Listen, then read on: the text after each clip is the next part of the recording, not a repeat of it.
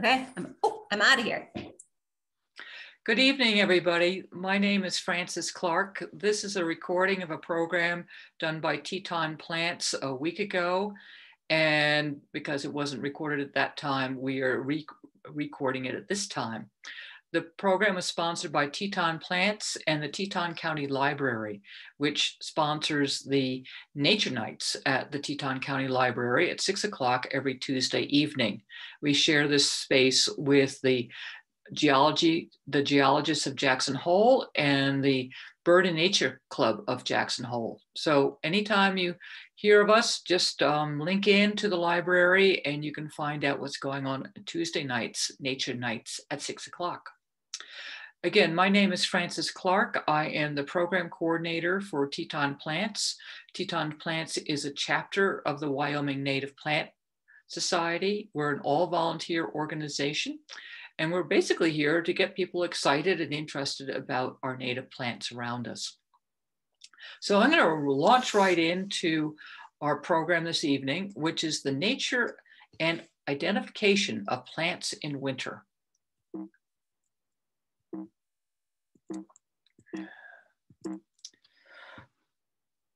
And here we go. So what are we going to be talking about this evening? We're going to be talking about the challenges that plants have when winter comes to the very cold Jackson Hole here in Wyoming.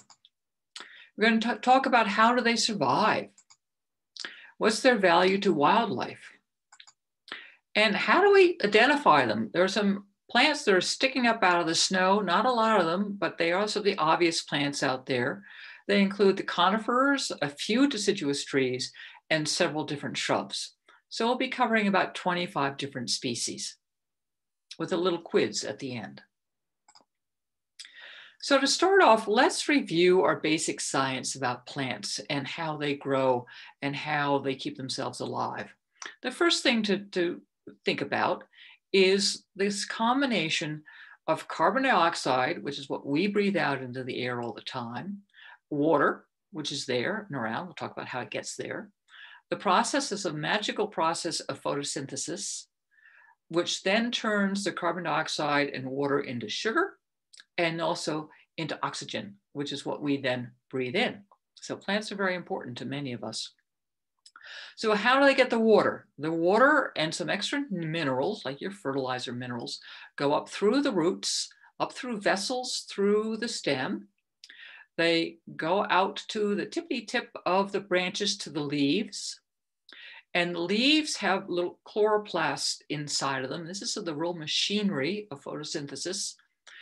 And also in the leaves comes in the carbon dioxide. There's little holes in the bottom of the leaves. They come in, they join the water and the minerals inside the chloroplast. And then with the energy from the sun, hitting those leaves, then so this magic process goes on and you get the development of sugars that are retained by the leaves and then the oxygen that goes back out through the holes in the leaves. One thing to remember is that a lot of the water that comes in from the, the roots goes up all the way through the plant, through those vessels. About 90% of that water or more goes right on out through the plant. So you can imagine it needs a lot of water. And all these cells also need water in order to survive. So that's the basics. And so I want to just make sure those were clear and that we can remember them from our early days of biology. So what are the challenges of winter? Well, it gets dark, gets cold, and here we get a lot of snow. So dark, short days and low light, well, that's gonna limit the photosynthetic process because it's the light that is powering all of this conversion to sugars. The other thing is, even if you have evergreen leaves, they're still sitting out there, there's less operational time. The days are shorter, the light's less, so they just can't operate as long and as well. And then the critical thing is they can't make enough food in order to keep the systems going because it takes a lot of energy just to keep keep going the, the living cells that are there, not to mention growing. Cold, that's the other big thing. As most of us understand, a lot of metabolic functions slow down.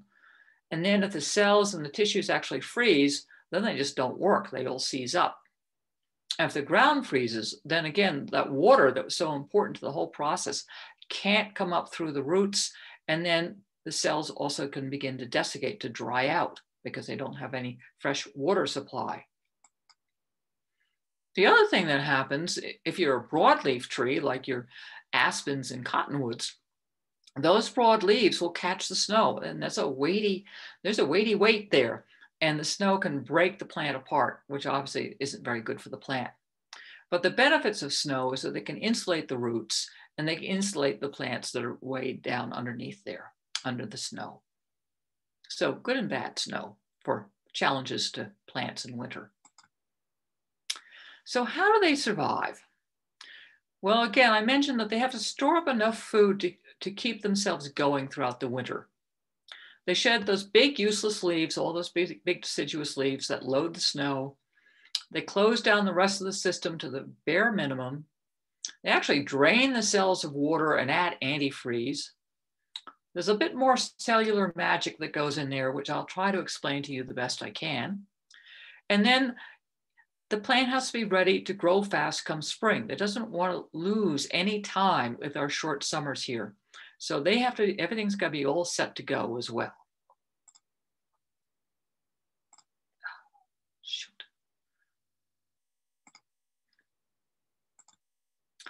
So if you think about it, summer is the most productive time for the plants. It puts out those brand new leaves, those food factories.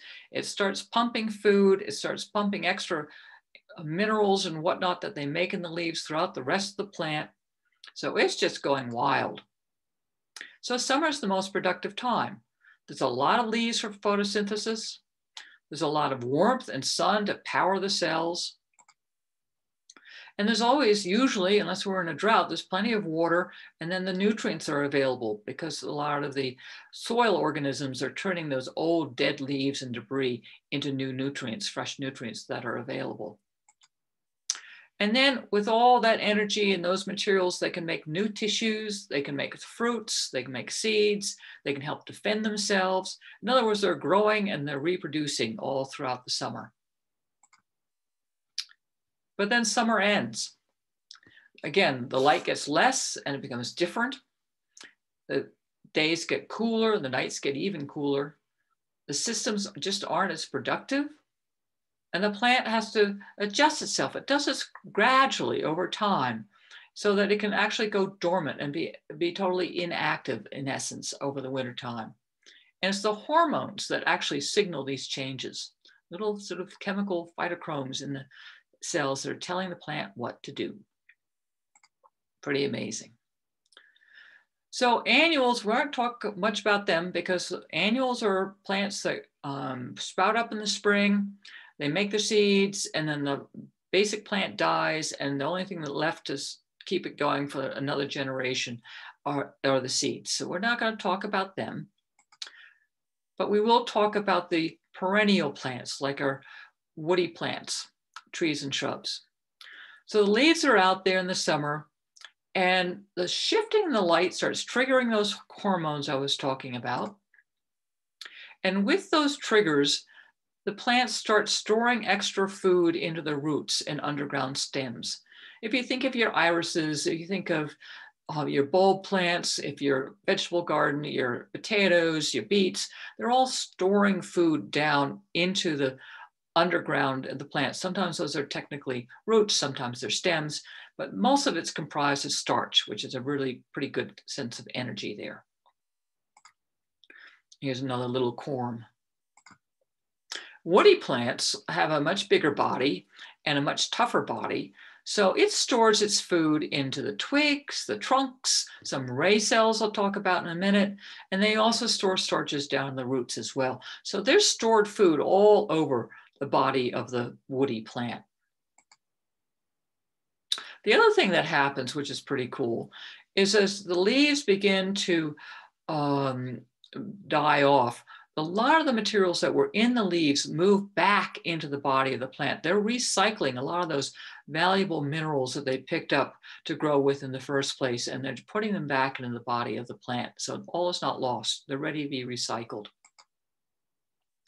And then the plants are of stashing these minerals and nutrients and starches and sugars and a little bit of extra water into certain cells in the plant. And so, like a pantry, all set for the winter. And while the plant is storing up extra food, they're also forming buds. Again, this is triggered by the decreasing day length. And so what the plant is doing is making new little baby, little sort of um, incipient buds. Let me show you what that looks like. So this is the stem of the plant. This is the leaf going out the petiole. And right in that nexus there, in that axis, as they call it, there's little stem cells that are beginning to form into a bud. And then around the outside of the bud, you're getting um, scales to help protect it through the winter. So little incipient shoots and flowers coming up in there, but they're going to sit there now for the winter time. There's hormones are saying, nope, don't grow yet. But those are going to be the shoots for the next year. And I want you to notice this little spot here. Because what's happening in the fall time when you saw that different coloration of the leaves, what's happening is a lot of those nutrients, as I said, are going back down through the vessel system, back into the body of the plant. And this part right here is beginning to seal off with cork. And so what's sealing off any water going back out and therefore dehydrating the plant. And since they've pretty much relocated everything it needs, back into the body of the plant from the leaf, it's all set to be sealed up for the winter. Notice the bud is always sitting here. So the leaves fall off from the stem.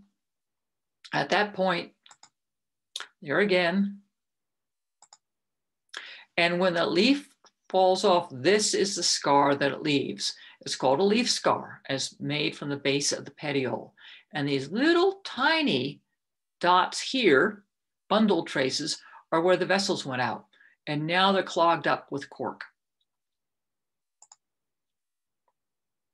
So again, gradually the plants are going dormant. They're dropping their leaves, they form their buds, they've stored up some food, and the plant is just going into in a state of inactivity when there's the cells are no longer dividing, but some of them are still alive. Again, this process takes several weeks. If you put a deep freeze on the plant in August, everything is going to freeze up solid and die. But if you do it by mid-September, those the plant parts are going to be fine. So again, there's still a few living cells going on, although a lot of parts have fallen off and died. And there's actually, there's quite a bit of living tissue in the plant in the wintertime. They've discovered there's about 8% in conifers and about 24% in deciduous trees. Where are these living cells? Just briefly, is these green parts down on what they often will call the cambium tissue, the um, stem cells that can divide later in the, um, roots, in the tips of the roots, just under the bark as you go up, under, in the buds, lots of buds, so all the green are actually still living cells in the plant. And then there's another set of cells which uh, the scientists didn't pay a heck of a lot of attention to for a long time, but these are alive too. These are what they call the ray cells. And these are really important storage cells for the plants. It's sort of like the extra attic um, where the, a lot of the food and the water will go up and down the vessel system, but then it gets stored into the sides here, sort of like the extra spaces in your attic. And so those are also living cells and are very important to the storage of energy for the plant in the future, both energy and nutrients and minerals to be ready for the spring. Okay, this is a plant cell, and this is the thing, this is the part of the plant that in winter is the most vulnerable. And so the idea is that the plant needs to keep this from freezing and also from dehydrating. Plant cells are a little bit complicated. They do have this wall, cell wall we've always heard about. There's a little membrane that's tucked inside of that. And then there's all these other pieces that are inside the cell, which I'm not going to go into. But just think about there's a lot of of solution in there, lots of watery elements to a cell. And this is the part that if it's not balanced correctly, the cell can die or get out of chemical balance, molecular balance. So what happens inside these cell walls, a lot begins to happen in the fall time. One of the things that happens is that the a lot of the water goes out of the cells and goes into the between the cells here. The starches inside the cells become more sugary, and that helps it become um, so more of an antifreeze kind of material, as well as more fatty acids. So there's antifreezes that are building up in the cells. The cells are becoming, the insides of the cells are becoming more concentrated, a higher degree of solutes, which some of us may remember keeps things from freezing as easily. And then the other sort of interesting thing is the membrane itself, just inside that cell wall, becomes more permeable to allow all of this exchange and going on.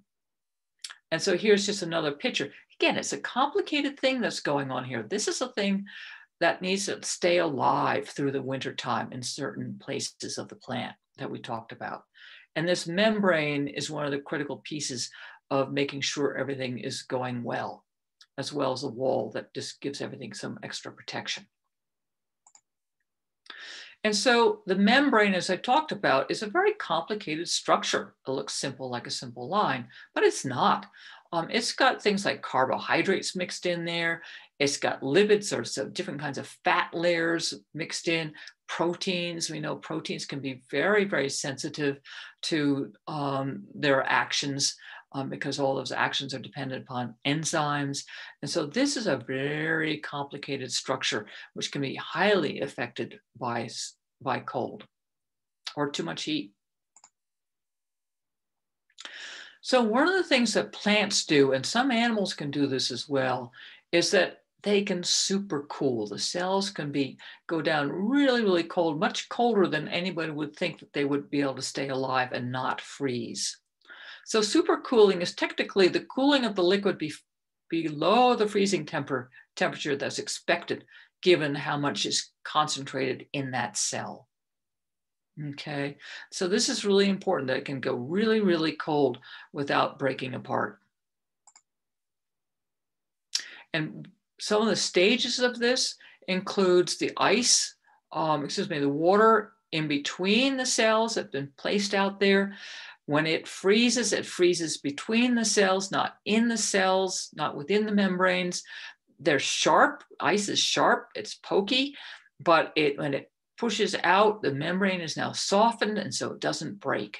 It may break through the cell wall, but it won't break through the, that very sensitive membrane. Okay, and again, there's an increased set of solutes inside the cell. All of this still streams around very, very slowly slow enough to prevent little, ice crystals beginning to form. Once an ice crystal begins to form, then it goes like wildfire and everything else crystallizes as well. This little starter part is called an ice nuclei, nucleation. But again, on the way the changes that are going on, the cellular magic going on, it prevents us the beginning of ice to form. It adds special proteins. And even when, if there is ice forming, it keeps the ice rounded, which is pretty amazing, less sharp and less likely to really go to town in its uh, crystallization. So a lot of sort of, again, cellular magic going on, which the scientists are still trying to determine because this is the critical piece to keeping the plant cells alive in winter. And again, supercooling, um, many plants that we are have adapted, evolved in the north temperate zones can go down to minus 40 degrees centigrade, minus 40 degrees Fahrenheit as well, same point on the um, thermometer there. And that's pretty amazing. That's darn cold if you think about it. Okay, the water isn't freezing at that point. Although many plants that are good at supercooling, this is the critical point where it does begin to sit, freeze inside the cell as opposed to just outside the cell. So again, minus 40 is a critical point um, where ice usually forms in the cell. But again, uh, several of our northern plants don't do that yet. Some cottonwoods go down to minus 50 degrees centigrade. And the, the red stem dogwood, which we have planted all over here, can go down to minus 196 degrees centigrade. Amazing without becoming dehydrated and having the whole cell structure um, disintegrate. So this is how plants are staying alive. And again, it's a process. It's the plants can, as over time, as they adapt over the months from August into September in our territory here, the plants can adapt to even below freezing. And then there's a point where the it freezes the water that's between the cells, been placed between the cells, freezes. And then the ice in the xylem, which are the water conducting cells, which is actually, those aren't living cells anymore, but that water will freeze inside those cells. And then the plant keeps on living. Those cells keep on living until you get down to a critical minus 40 degrees. Um, many of the cell contents will freeze, many of the plants will then die, but some survive even lower. The other thing is that once the plant has adapted to the winter, it needs to stay dormant for the duration. If it gets a couple of really warm days in January, January thaw, you don't want, the plant just doesn't want to come out of that deep dormancy that it's been in. And so there's hormones that are making sure that everything stays dormant for the duration. And then come early spring, the light's changing, uh, the buds, is the sunlight is hitting these bud scales that are then um, sensing that change. The hormones begin to operate and the plant begins to grow. Those buds out of the buds shoots new leaves and everything begins to grow again. Everything is back in full operation. And partly because there's been food that's been stashed away so it can put it out into those new leaves while everything gets going. Okay, we've been doing micro. Uh, let's go macro. What do the plants offer wildlife? Well, shelter is a big one. If you think about all those nice evergreen leaves and stands of conifers, and you can have your um, deer and your moose and all of that sort of burrowing away from the wind. Um, there's a lot of what they call structure in that sense of fallen leaves, uh, excuse me, fallen uh, trunks and limbs that other animals can move through. There are holes, big and small, that critters big and small can huddle in, like chickadees or squirrels. There may be a few fruits. There's not a lot of fruits left at this time of the year. A lot in the fall, but they're getting plucked off by the migrating birds and the other birds that are sticking around. A lot of them don't seem to have a lot of nutrition left. They're pretty frizzled up or disenchanted.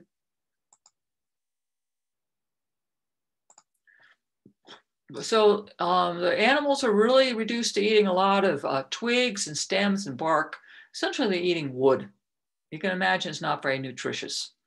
So they're really doing their best. If you see these hairs here, they are getting down to the cambium, which is some of those um, cells along the stem that have a little bit more nutrition because they are alive. And so your moose and your deer are the browsers. And again, they're going after the, the few stems above ground. And they're working off their, their fat reserves that they did in the, in the fall time. There may be a few seeds scattered out there, scattering fast. There could be some grasses with some grains on them. Those seeds are great for the little birds. They have the little beaks. They're perfect for picking them up. Our juncos or rosy finches, horn larks, snow buntings. You'll often see them seeding on the ground or on the snow going after those little seeds.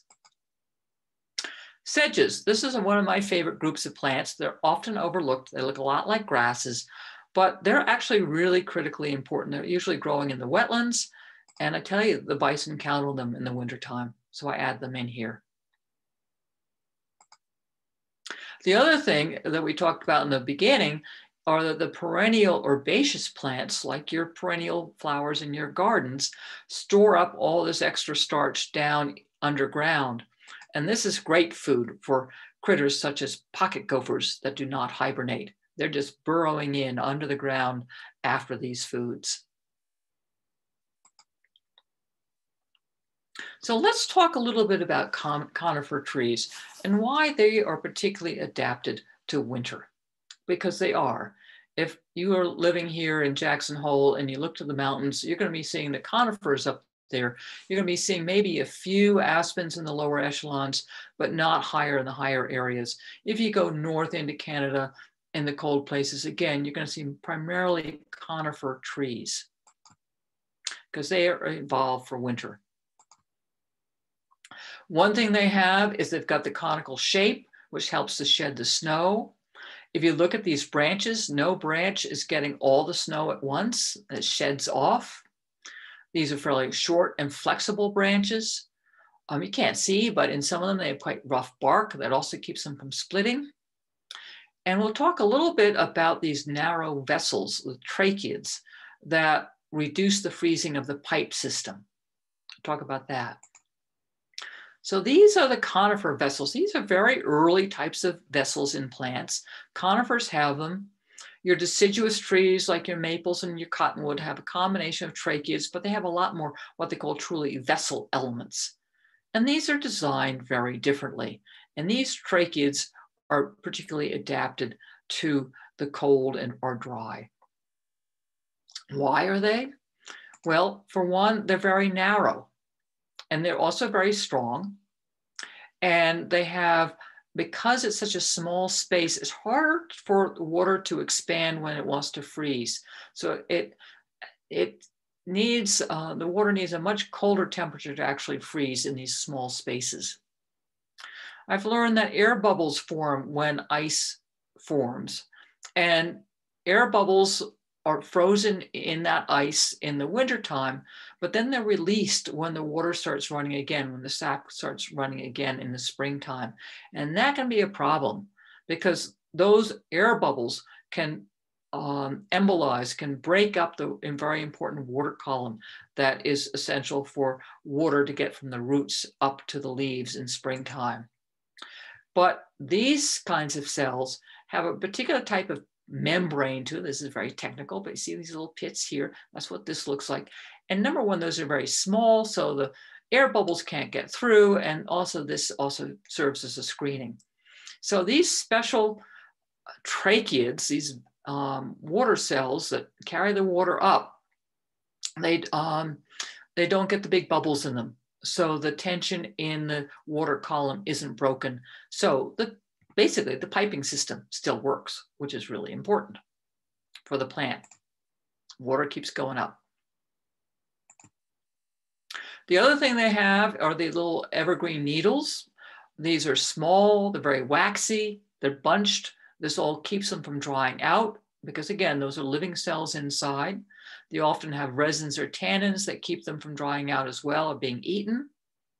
These needles are called evergreens because the needles last several years. Okay, they'll, they'll drop off in spruce and fir after two or three years, but they new ones come up and the old ones stay on, and eventually the really old ones fall off. And then they can photosynthesize, make that energy in the starches during the springtime, the fall time till it gets really cold and everything shuts down. And again, in the springtime, when things warm up enough that they can start some photosynthesis. Okay, so these needles are less efficient overall than your deciduous tree leaves, but they keep them for longer. And so there's less waste going on. And they're just much more durable for living in through the very long winters that we have. And they've got the plants all set and ready to grow in the spring by being right there. Wildlife. Wildlife in these conifer forests um, are, is abundant. We have all sorts of little birds that hang out in the wintertime. And again, they're taking advantage of the being protected from the winds, having lots of nooks and crannies to glean off insects and eggshells and things that are all inside their little insect eggshells. Uh, lots of gleaning areas, lots of cover, lots of holes. They particularly like the cones, um, the conifer cones, which have all the seeds. The seeds are sitting in underneath each of these scales. Red squirrel particularly um, requires the spruce trees and the pine trees. And what they do is they form middens, big areas where they hide or stash the cones throughout the winter. So like putting a cigar in a humidor, they stash them in there. There's just enough humidity and protection that it keeps the, the seeds fresh so they can eat them and pull them out each throughout the winter time and keep themselves fed. And that's why they defend their territory so much. You know how loud red squirrels are. Well, that's because they don't can't let anybody get their stash or they'll die. Well, they're vulnerable when they're running around the trees in the wintertime, and they're particularly vulnerable to pine martens. And pine martens are, arboreal weasel creatures, and they're running around and they're trying to get the red squirrels. Dusky grouse may be hanging out there and they're eating the buds of the conifers. So a lot of things are going on in living off of those conifers in wintertime. So let's identify some of these trees. The nice thing about identifying conifers in winter is basically the same features that you're going to see in the summertime. So all that we're going to be talking about is going to really help you out year round. So one of the first ones, and often the more uh, prominent ones, especially as you get higher in higher elevations, are the subalpine firs. And oftentimes they have these really thin, spirally um, habit to them, shape to them. Not always, but often they do. Subalpine firs. And they're known because their, their cones sit at the top here, but they fall apart. So you're unlikely to find a cone at the base of the tree is a good clue. Again, the cones sit up, they stand up. There they are in late summer, ready to be collected, or um, birds will come in and as the seeds ripen. But then all of these scales will spin off, releasing the, the, the seeds that go off onto the wind. That's the way the firs have their cones are at top and they fall apart. We often think of firs as being friendly. That's because if you shake hands with it, take a branch in it, it's, it's really quite soft. They often have a, they also have a soft gray bark. They have single needles. We'll see a few others that have single needles as well. But the base of them is sort of like a piece of putty, just sitting into, making a small indentation into the branchlet there. And then the leaves themselves are flat and blunt. So when again, when you shake it, it feels soft. Engelmann spruce is another matter. Again, it can be this spiral, this sort of tall, um, thin shape to it to shed the snow in the wintertime. But spruces can have this rough, scaly bark. And then they also have the single needles, but they're really sharp. You go try to shake hands with the Engelmann spruce and you just you back off. So sharp needles, single, they're squarish, they're strong, they are, tend to be stiff, pointing out all around from the plant, and they stand on pegs. This is a good giveaway. They stand out on pegs. Here it is again. Their cones are also different. They stay on the tree or they fold, fall off intact. You often see them on the ground. Again, these are, can be collected by your red squirrels and other critters. And here's some comparisons, just so you can get your eye going on these differences. And again, these differences last throughout the year. The soft fir, the peggy spruce. So those are two to compare. A third one comes on the scene, often mixed in, are Douglas firs. They tend to be a little bit broader in their shape. The needles and the little branchlets tend to dangle down more. It has a rough bark, but it's not a scaly bark. It's not sort of falling apart on the outside. Bark helps a lot in wintertime, by the way. And then um, they have, again, single needles. They're on a little stalk, but it's nothing like the peg that you get in the spruce. And they're a bit longer, they're sort of blunt, and they're flat. One thing that I find helpful is that they have pointed buds. And then if you find these, you're, you know what you have. Um, they have the scales, but then they have bracts between the scales. When you teach this to children, we often say there's a, there are mice that have gone scurrying and hiding themselves under the scales of the cone in order to protect themselves from the great horned owl that might be lurking around in that nice, big, dense evergreen tree. So the mouse-like bracts are very helpful too, if you find a cone. And again, this is a more of a profile of the way the needles can look. Again, those little fine stalks to them. And there was a program just the other day by Taza Schaming, who's been doing a tremendous amount of work on Clark's nutcrackers, which are specialty birds. Um, they, they are very important for the planting of white bark pine and white bark pine feeds them. But it also turns out that Douglas fir is one of the key components, most consistent component to their habitats. so here you can take a look again and compare the spruce to the fir.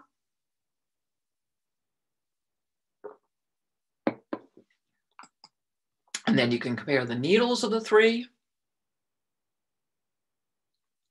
And hopefully you can tell which is which. Here are your labels, fir, spruce, Doug fir. So those are the single needled conifers that are typical to our area. And then we have a couple of pines I'm going to go over. Pines have longer needles. They are in bunches. In the lodgepole pine, which is our most common pine, they are in twos, in pairs. They sort of fluff out um, around the stem. Makes it sort of look like a, um, a big bottle brush effect of the needles spit coming off the branches what's really cool this time of the year, you can also, you know, buds are sort of fascinating. You can see that these, for instance, are going to be the male buds of the large coal, pole pine right here. These are going to produce pollen come spring. And then over here in a different part of the plant, you'll see the female buds of cones. Okay. And what will happen is the pollen, as many of you remember this in the springtime, you get these big clouds of pollen, bad for asthma, comes over, lands on these teeny, teeny little cone-like structures, the females. And then over time, the little cones up here, pollinated, little cones. And then by this time, this was this is what you know what it looked like last year. At this time of year, it looks like this, but this is really only less than a year old and it has a whole nother um, nine months to go because it takes 18 months for pine cones to form. Very different than spruce and, and fir trees, which will form their cones within a growing season. 18 months. The other thing that we find with our lodgepole pines is they have these really sharp points to them. That helps to defend them from the red squirrels that really want them. But also they are prized by a lot of crossbills. And the red crossbills are adapted to pry open cones with those crossed bills. And they have a tongue to scoop out the seeds inside as they're prying the scales open and then they can store those seeds into a pouch and fly off. So they can work a cone over, gather seeds, and then fly off. And these red crossbills and other, other birds are what we call eruptive. And so depending on where they are finding the best stashes, that's where you're going to find them in the wintertime. Red crossbills, just one example of a bird that depends on cones in the wintertime. The other pine that we have at the lower elevations here are the limber pines. And this is a fascicle. This is a bunch of needles. And you can see there are five of them here. Okay. Also, the differences you can see is that they have quite flexible stems, gray bark, um, not too rough on the twigs, but rougher when it gets older. Again, bark changes with time as it grows. It's quite interesting that way. When you look at the overall branch, it has sort of a soft grayish look, bluish gray, gray twigs, and then they have quite big cones uh, that are four to six inches, and they don't have the spines on them the way you have the lodgepole pole pine. And these are big, tough cones that will stay up in the tree or else fall down. You can pick them up, and that can be one of your clues to identification. These are closely related to your white bark pine, but you're going to find those at even higher elevations. And you're also going to find that those cones are really very different. Both your limber pines and your Douglas fir are often found on the high dry hillsides, but they also mix in. They, you know, they're surprising where you'll find them, but dry hillsides as well. This is out the Gros Ventre Road. Also on our buttes, particularly on our south facing sides, you get another evergreen, a conifer, which is the Rocky Mountain juniper. And you can just sort of tell these sort of big um, gumdrops, as I sometimes think of them, um, sitting on those hillsides, often with the bighorn sheep up around them too. These are conifers, but they look very different than the other two sets that we've been seeing. These have um, little tiny, each of these is a little tiny little scale-like leaf. They have cones, but they look like blueberries. And what you're often going to find in mixed in with them is a Townsend solitaire, because a Townsend solitaire, which is about the size of a robin, really likes those juniper berries. And these juniper berries, by the way, are only found on the female junipers, not on the male junipers. One last evergreen. This is actually our um, one of our very few broadleaf evergreens, and the one that I very, you know, the rare one that I see above the snow. At this time of the year, the the trail to Bradley Taggart, um, where we had the old burn, um, is sort of covered with the snow brush, but that may be covered with snow by this time too.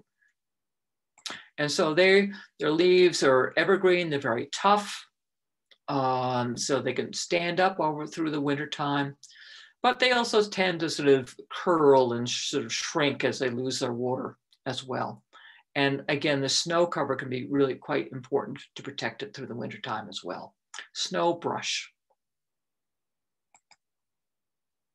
Okay, we've covered the evergreens. We're going to go on to the deciduous trees and shrubs that again are poking up out of the snow and you're, it's possible for you to see on your hikes and your walks. So deciduous trees and shrubs drop their leaves. Okay, they just they get rid of them over the wintertime. They're useless to them. It's too cold. They're too big. They they don't help. These are also the plants that have the bigger vessels. They need more water to um, keep those leaves going in the summertime, and those bigger vessels make sure they get those enough water to keep themselves functioning. But those are the vessel systems that on the tree can be a real problem um, with freezing versus the ones for the pine tree.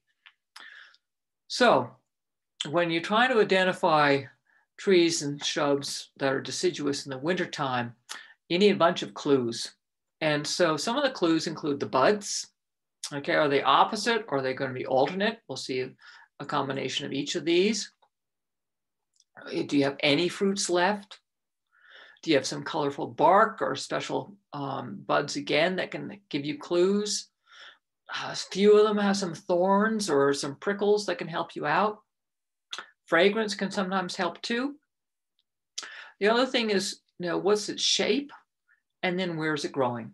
Those are all clues you need to be looking for. And again, just um, these are some of your key clues in the wintertime. What's your bud look like? There are the scale, many scales. Um, how are they arranged? Are they opposite? Like this, or are they going to be alternate, one up here, one down there, one up here, and one down there, alternating down the stem? What size leaf scar do they have? Some of them have a lot of lenticels. These are sort of the um, release valves of the gases from the um, cells metabolizing throughout the year. It's just one way that the um, byproducts can release through the stem of the cell, oh, excuse me, the stem of the um, through the stem, stem bark.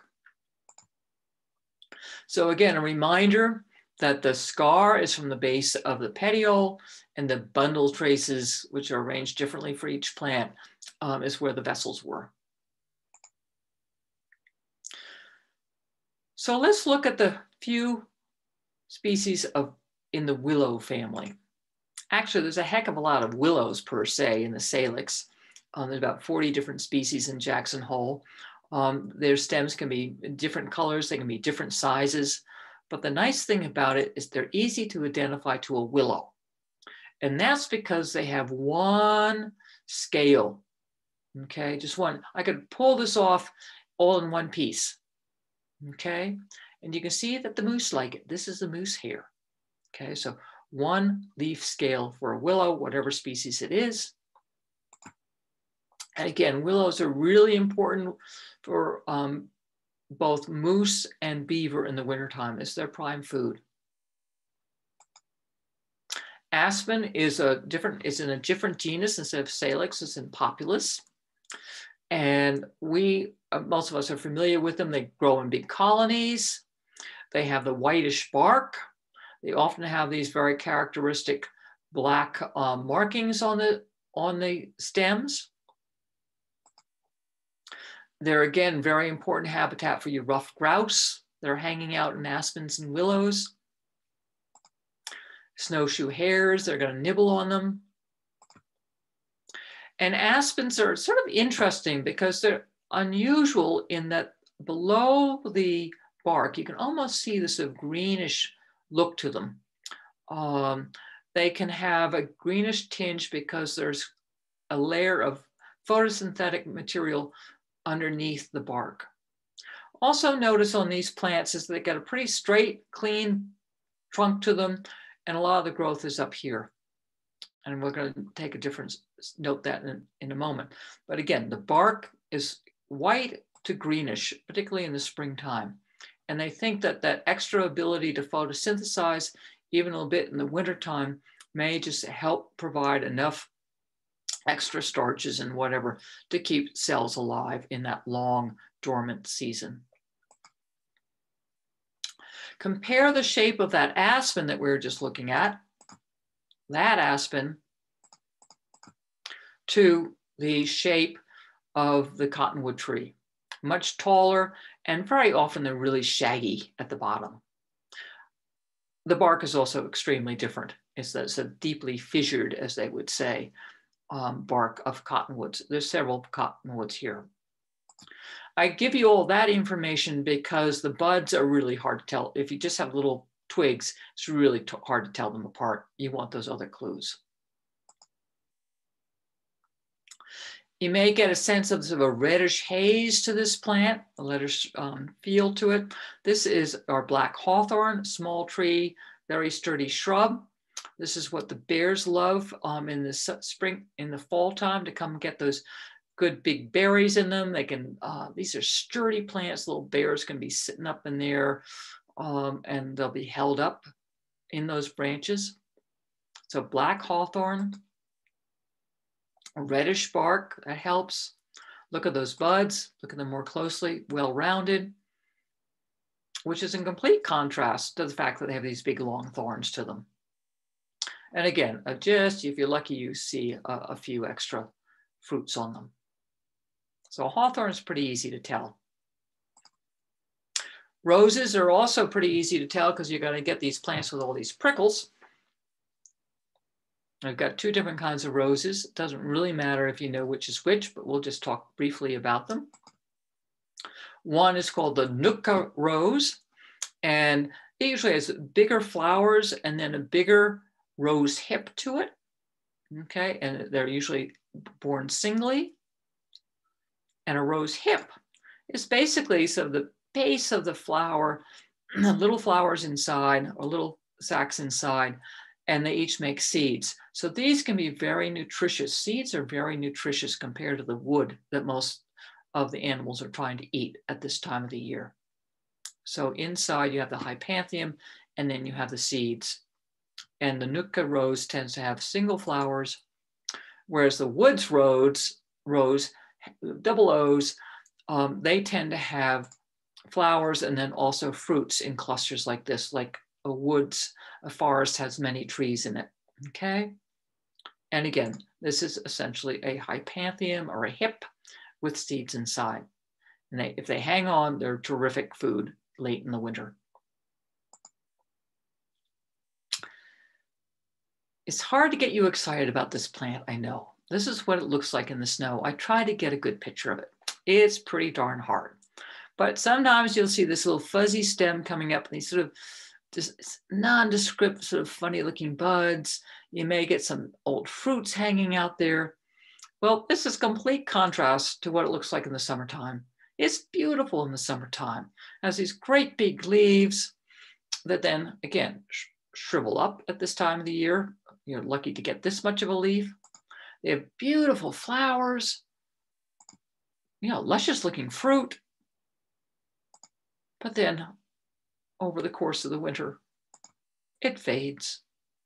Not very appealing at this time of the year for pretty much anything unless you're browsing the stems. That's the thimbleberry related to our edible raspberry. There's another set of mix of shrubs. These are all in the same family, by the way. They're all in the rose family. Other mix of shrubs that you see down the Moose Wilson Road, one of the reasons why we have all the Bayers down there is they produce a lot of fruits. This is the Moose Wilson Road at this time of the year, all twiggy. But if we look closely, we can tell what these are. There's two lookalikes out there, which it took me a, a while to discern, to figure them out. So this one is a shape. It's been browsed. It can be almost tree-like, but uh, doesn't look very exciting at this stage. They're the two serviceberry and the choke cherry, very similar. The twigs, which you look at at this time of the year, um, they've got several different scales. They're both pointed. The serviceberry sometimes has a little bit more hair on it. Okay. It has a both of them have lenticels, but this one has a narrow leaf scar. And the choke cherry, and notice I put the O there because they have a roundish leaf scar. This is the best way I've found for telling them apart.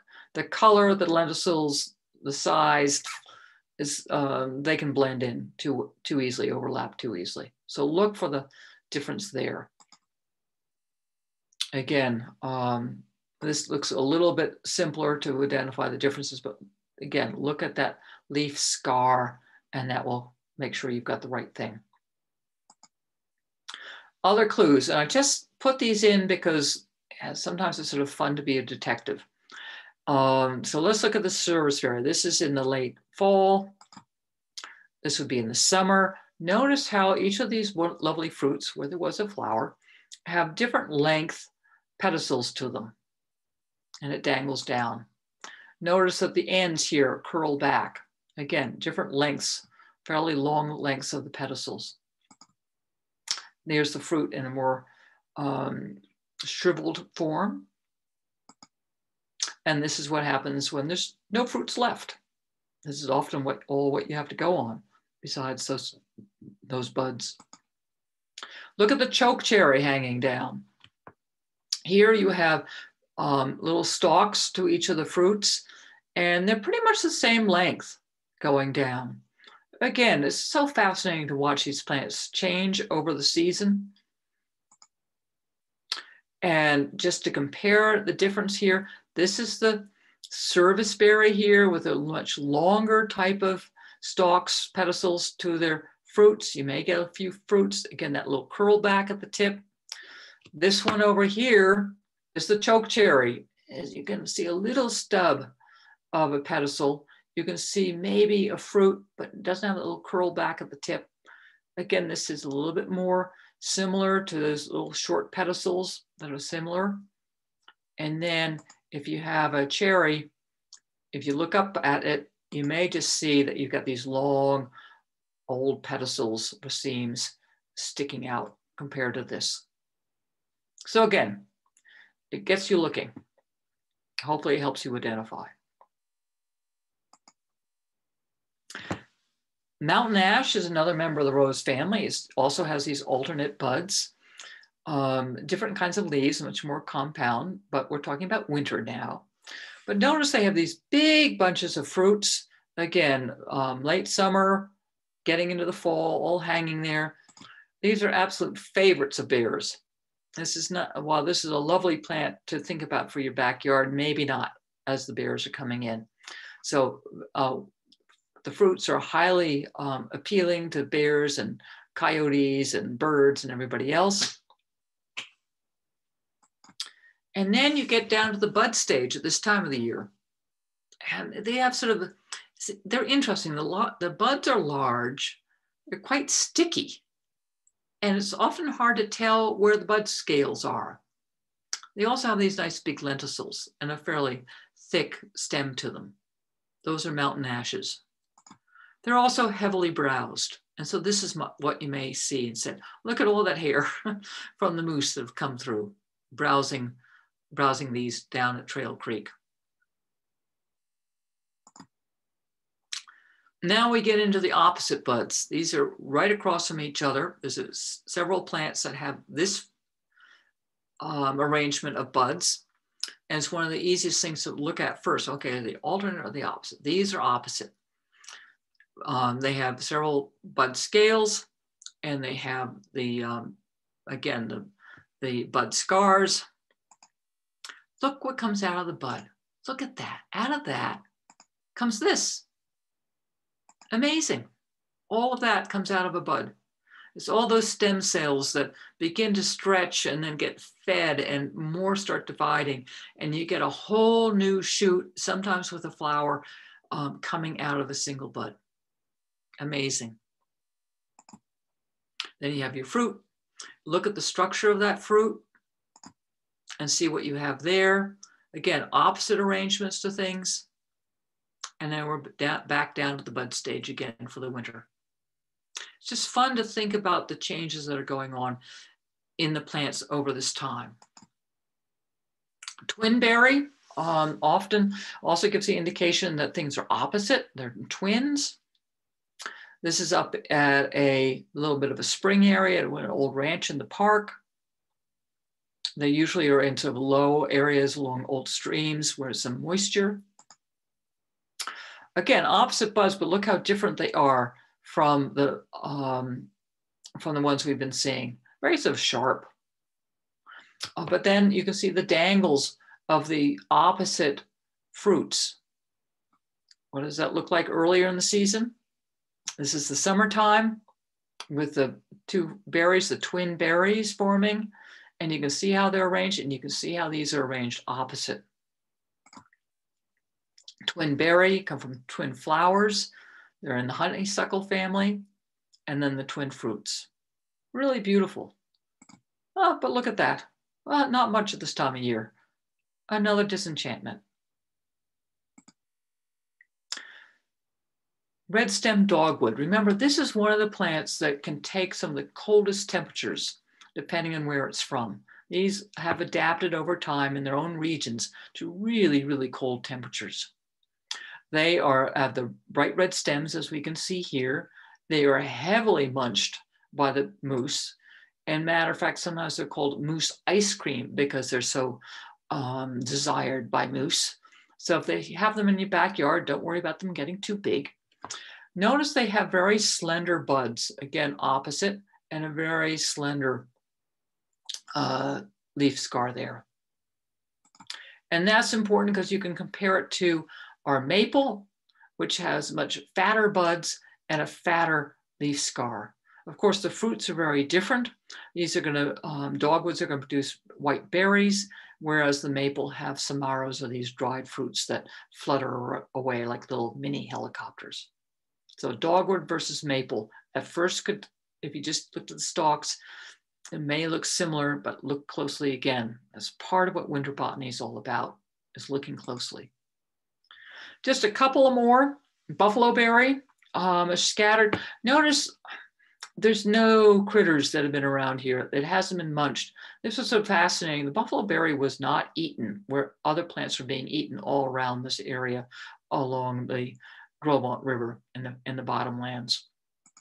They have an interesting set of buds they have the terminal bud, which looks like two leaves, and then you have these little round side buds. What's the difference? Well, the terminal buds have the two leaves forming, and then the round buds are the flowers forming, flower buds, very different in shape. You can go back again. The flower buds, they're just the shoot leaf buds.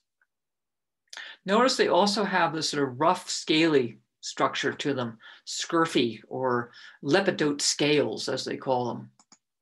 There you see it again. That's typical of the Elaeagnus family. Um, silverberry, which you also find in the bottomlands, usually a taller plant, um, has alternate buds here, but see all that scurfiness to it? That helps you know it's in the Elaeagnus family. And then they have these fruits dangling down. Although again, many of those will um, drop off. They're sort of mealy and green inside. I see these under the cottonwood, cottonwood groves down off of Fall Creek Road. Just a final couple here. Sagebrush, I think we're all very familiar with that. The wonderful fragrance it has, the wonderful um, evergreen. These are evergreen leaves, by the way. Um, small, so they're not losing a lot of water. They have a lot of um, terpenes in them to keep them from being eaten by too many things because it's pretty hazardous to be out there in the wintertime um, having any nutrition to you because people are going to, want the animals are going to want to eat it. But these are really tough plants, as most of you know. I mean, they are living there under the snow, these bushes, shrubs, and they're really important, as we also remember, for sage grouse because they snuggle in underneath, burrow in under the old stalks, and then they can sit there and then they can also um, nibble off the, the tips of those branches and digest those leaves. Mule deer also count on the sage, sagebrush throughout the wintertime. 25% of the, their diet is sagebrush. And one of the reasons they can eat all that sagebrush is because they have a special uh, process in their stomach and they can literally burp out the gases that they um, that are created in eating those sort of um, highly chemically bound leaves of the sagebrush. One shrub I just found sort of everywhere, and I just call it the twiggy shrub. It's the snowberry, and it just is twiggy. It's, there's opposite little branches. It just looks twiggy, and they've got teeny tiny buds, which this is a hard picture to take because they were so small. Um, in the fall time, they're going to have the snowberries, and then those are going to get really turned into pretty much mush by this time of the year. So not very glorious. But again, this is a common shrub you're going to see from sagebrush up into the forest openings. Now, just to finish up, a little bit of fun time. We haven't talked about any of those herbaceous plants, the ones that technically die down to the ground, store all the extra food under the ground too. So I'm just going to take you through this quiz, see if you can get some hints and think about what this is.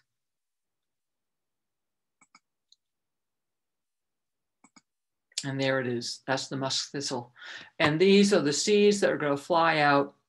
And actually, you're going to have your goldfinches. They're going to come and uh, pull those out and, and sort of help this disperse, which is why it's such a weedy, non-native plant. How about this one? Lots of really tiny seeds in there. Pretty, but you know, it's still standing strong in middle of January snow all around, goldenrod. Another one, one of my favorites, stalwart in the late summer, late summer bloomer. Any ideas? A little bit more hints. These are each individual flowers, had individual seeds to them. Coneflower. Each of these are little tiny flowers that each makes an individual seed is in full bloom right now. And you can see the, the bee doing its work in pollination. Very important because once it gets all those seeds, then you're going to have your pine siskins and other birds coming in for them. And this is the one that I think is the most remarkable. It's so delicate looking. It's still standing up, despite all the wind and all the snow. Late fall, shedding its seeds upon the wind. Any idea? Fireweed. So that's just a bit of sort of a full panoply of what you might see out there if you're out exploring, botanizing, just enjoying the world in the wintertime. And just to give you a sense of what we've been talking about, Now, it really is amazing to think about the remarkable set of skills they have. How do they survive? You know, they, they still don't know how it does it all, but it does. The conifers are much better adapted trees to very cold places than our deciduous trees for many reasons. The deciduous shrubs, the perennials, the annuals also have their methods of survival. None, none of necessarily better or worse. It's just a different way of doing their doing their survival. Our wildlife that sticks around in the wintertime really depends on these plants. And botany is a puzzle, uh, especially at this time of the year. And I just find it so intriguing um, to go after these clues and see if you can put the pieces together and know what it is. And with knowing more about what the name is, then you can find out so much more about um, how it works and how it's important. And then winter botany, if you've been looking at things this closely in wintertime, summer botany is going to be a heck of a lot easier. So thank you very much. Really appreciate your joining me tonight. And keep in mind our website, tetonplants.org. And we often will have our programs listed and other postings about how to identify plants there as well. And again, thank you for, to the Teton County Library for hosting this program every Tuesday, fourth Tuesday of the month, along with other nature nights. Again, thank you, and away we go.